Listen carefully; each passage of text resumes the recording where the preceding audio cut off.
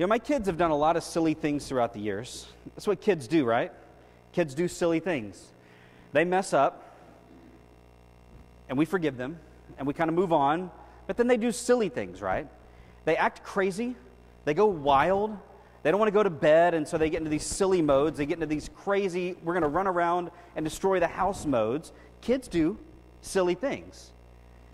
We all know that.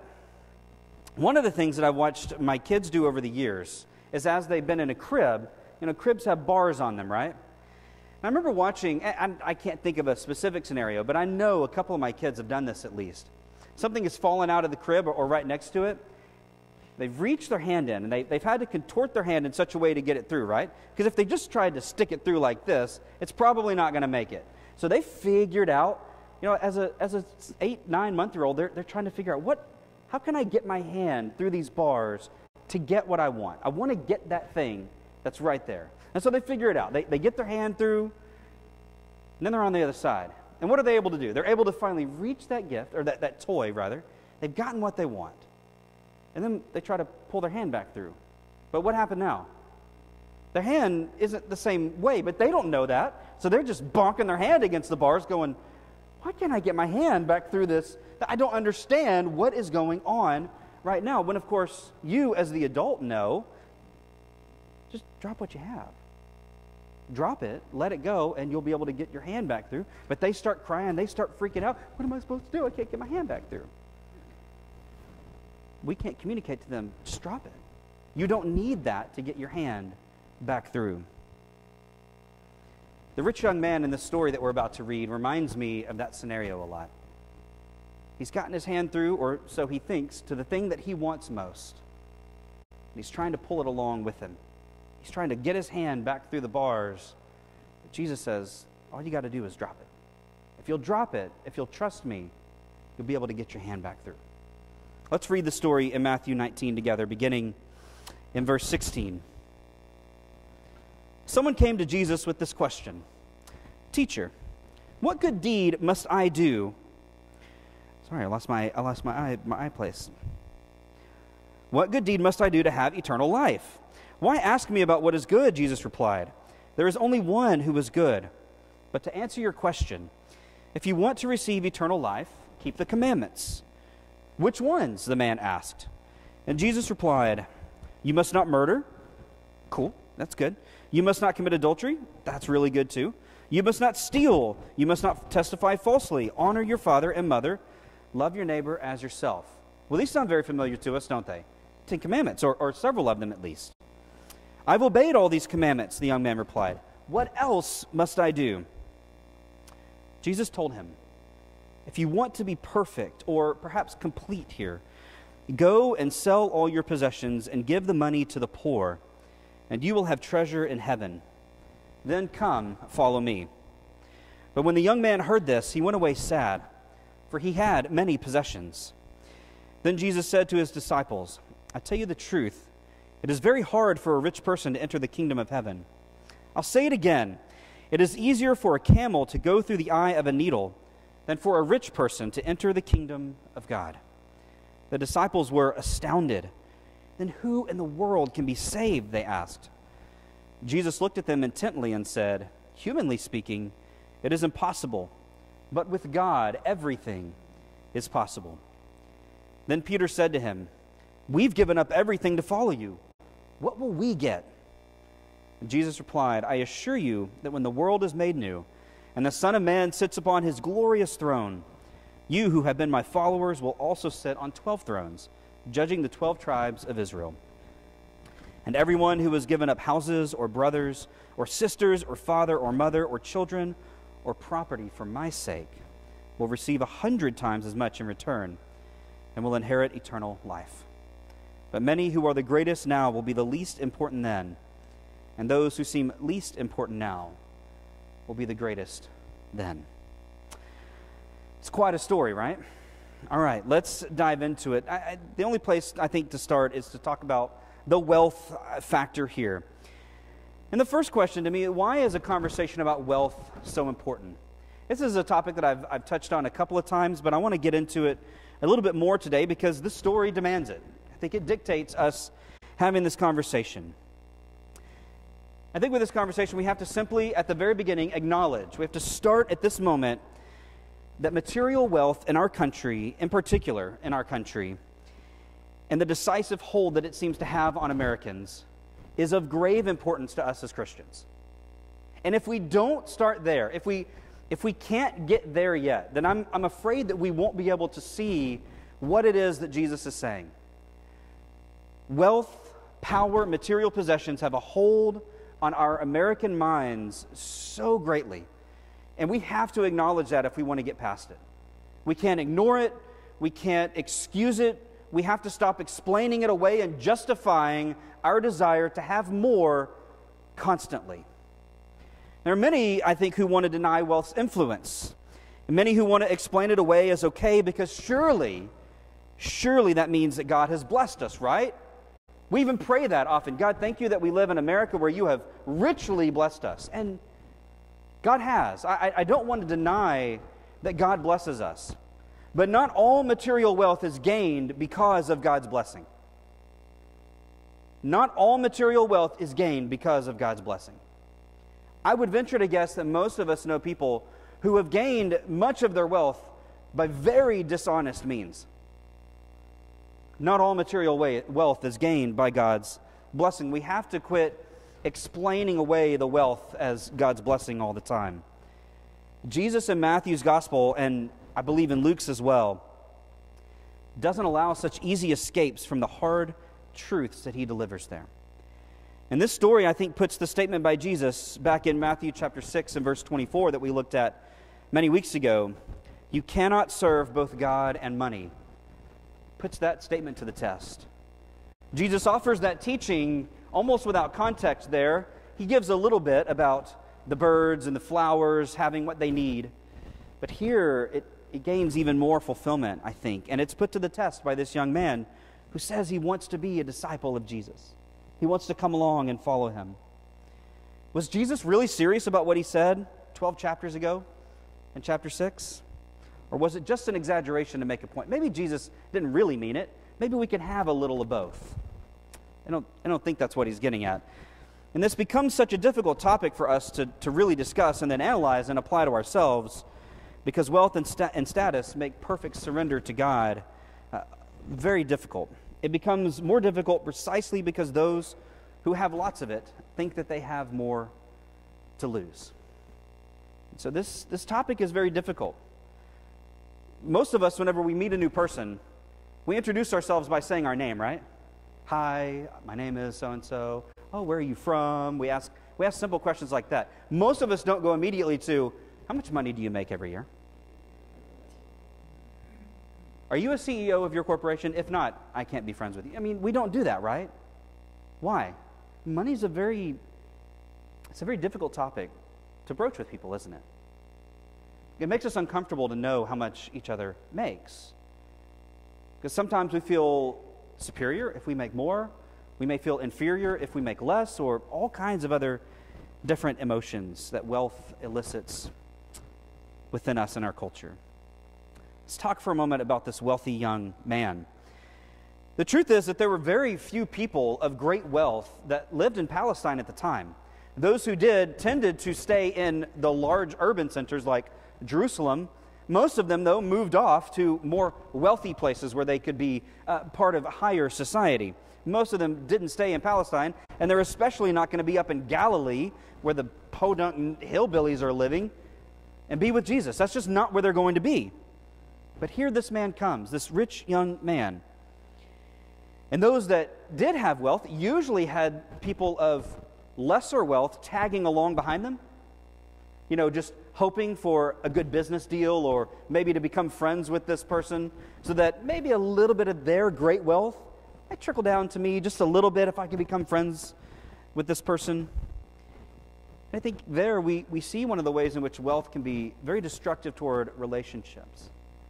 For if you don't have very much of it, you may want to put aside other people who don't and only try to make friends with those who do so that you too can feel superior to others.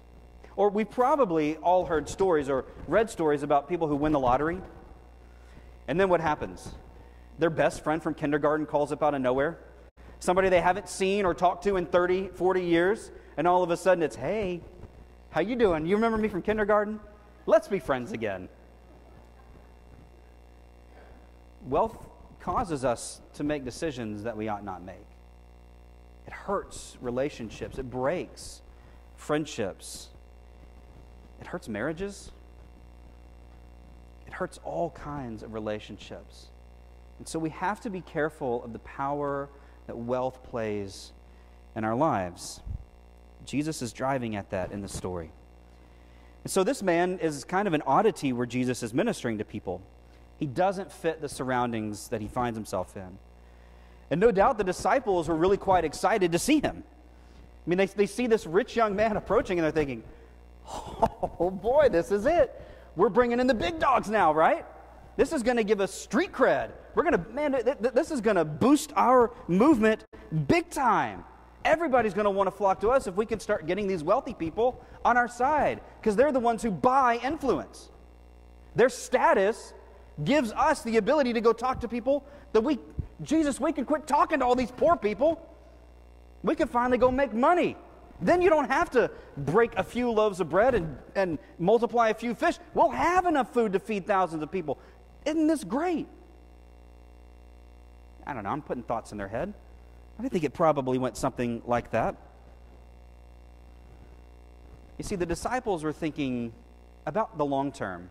And we often do that in our lives, right? We want to think about the long term. We plan for our future. We see, we see um, advertisements all the time for um, investment uh, uh, opportunities and you know, financial planning, things like that. Get your million so you can be set for the future, right? I mean, we, we see those all the time. And I, I think that's how the disciples are thinking in this moment. If we're going to do this thing with Jesus, if he's going to be around with us for 40, 50 years, we've got to take care of ourselves. We need financial backers, we need investment bankers to invest in us so that we can last for a long time. But they haven't been paying attention because Jesus has no intention of staying around for 40, 50 years doing this. He has every intention of dying for us very quickly. But to keep this going, they felt like they needed more, more, and more. And so this guy's young. Check. He's going to be around for a while. He's very moral. He's already keeping the commandments, right? Check. He's a spiritual seeker. He's coming to Jesus looking for answers. Check, man. This guy's got it all. And and he's wealthy. Double check. This guy's got it all. He fits perfectly with the mold that the disciples are looking for. But Jesus makes clear that there's still one thing this man must do to show his devotion to Jesus and to his kingdom. It's something the man refuses to do. He reaches out his hand, he's got the money. He's just he's trying to get, get back. So the man leaves the scene, and the disciples stare at Jesus, I think, probably, with what I imagine are really shocked faces at this turn of events, as Jesus says that the wealthy will have an incredibly difficult time trying to enter the kingdom of heaven. So let's talk about the kingdom of heaven then. For whom is this kingdom of God or heaven? Are the wealthy prohibited from God's kingdom? Well, no, of course not. Of course not. And anyone who reads the Gospels and comes away with a different teaching either didn't actually read the Gospels or refuses to acknowledge that Jesus had disciples of varying wealth statuses, and he doesn't make the same demand of them. We see Jesus being, being a, supported by other wealthy people, wealthy women, in fact, but he doesn't make this demand of any of them, at least not that, not that we know. So then, is God asking for all of us to give up our wealth and possessions like he did with this rich young man? No, I don't think so. But we absolutely have to be willing to give it up if God were to make that demand on our lives. And I'm not going to say that God isn't making that demand of some people. He absolutely, very well, may be making that demand of some people, but not of everybody. The issue comes when Jesus instructs the man to give up what he has perceived that you know, he's paid for this good life, right? He's living the good life. He's rich, he's young, he's spiritual, right? He's powerful. He's got it all. He has built himself into something great. Those words sound familiar? He's a self-made man. Anybody ever hear that language before? Yeah, we hear that a lot, don't we? Sounds very much like our culture. We want to be self made people. We don't want any handouts. We don't want any help. Nobody that helped us get to where we are. His good life isn't his. He didn't build anything ultimately.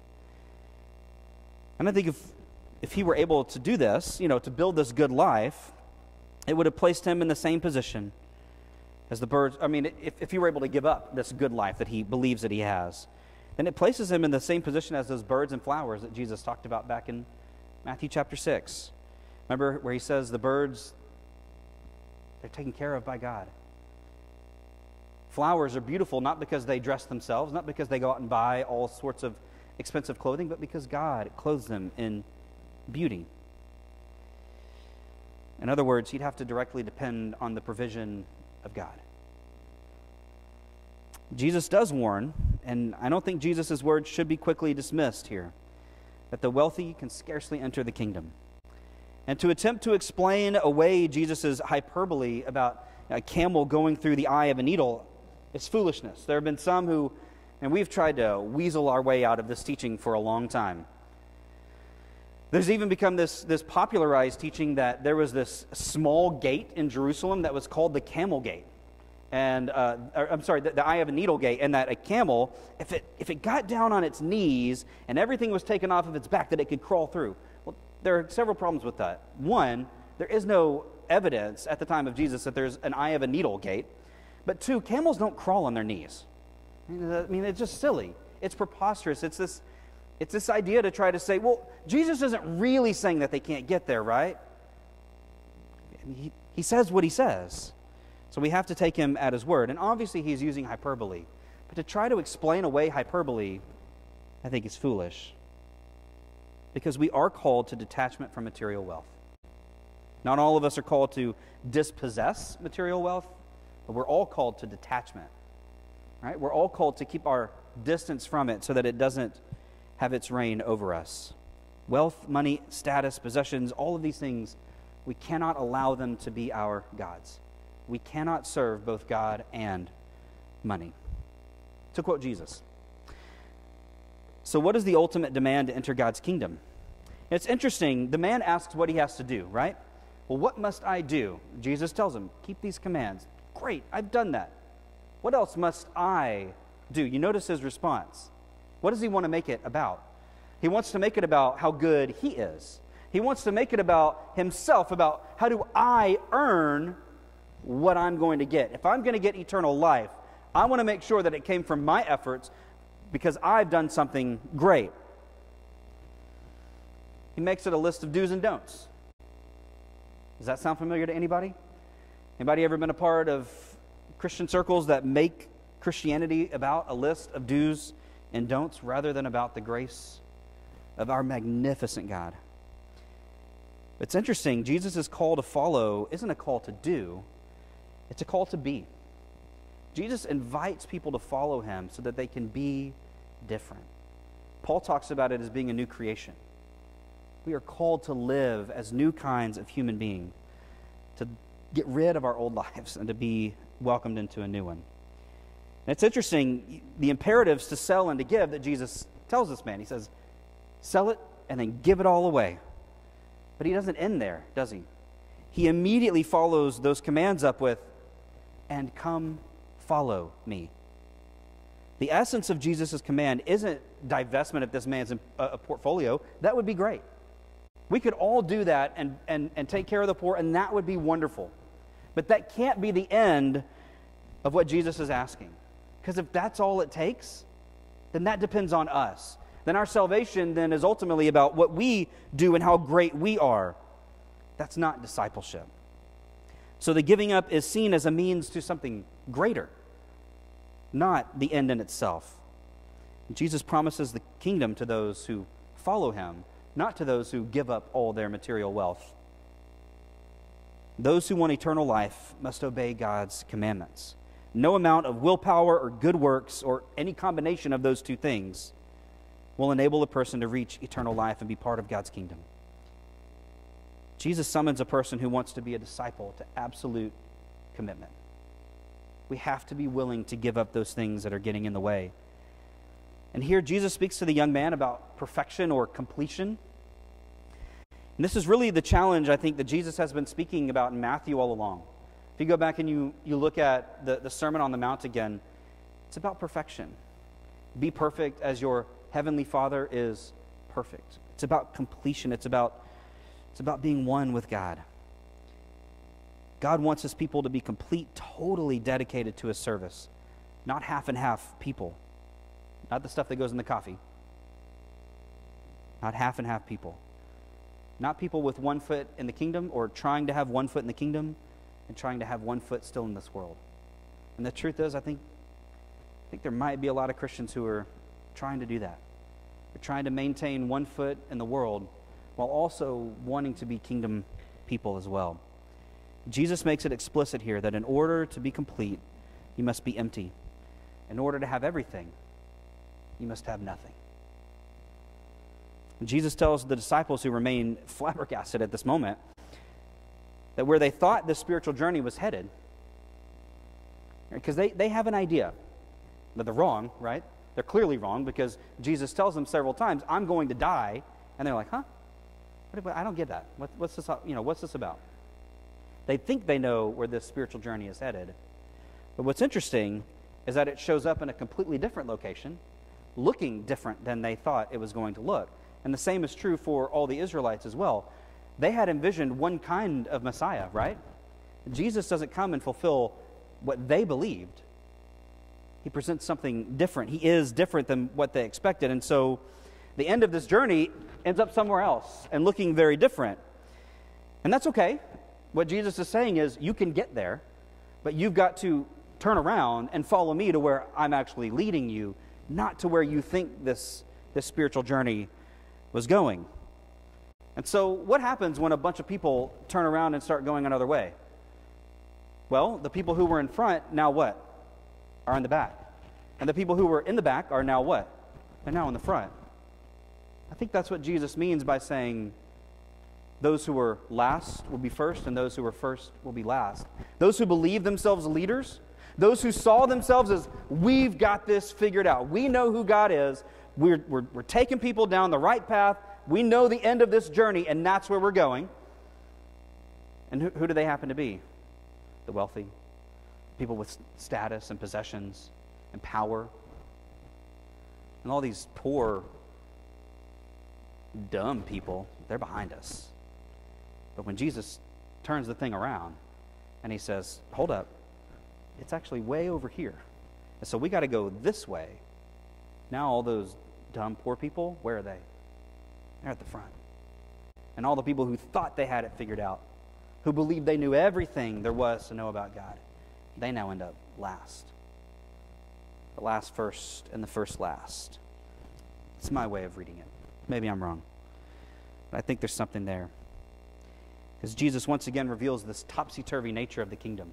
And he's been doing that all throughout Matthew if you've been paying attention.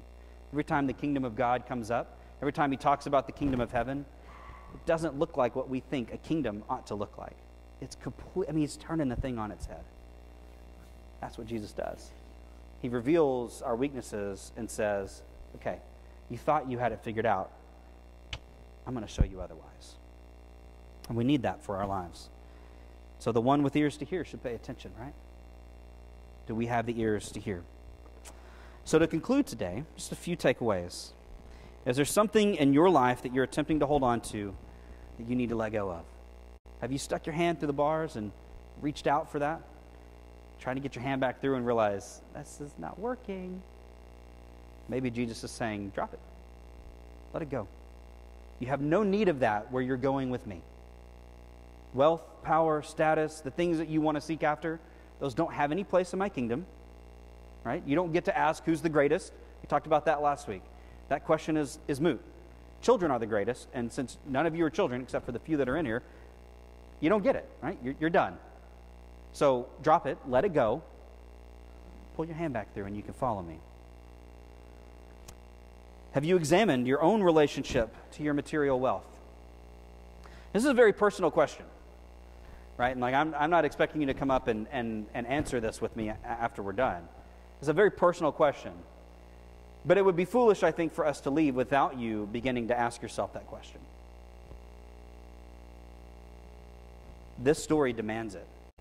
It demands that you take seriously this, this relationship that we as humans have with wealth. And obviously, I'm not even getting into what Paul has to say about the root of money being, or, um, um, about money being the root of all kinds of evil, right?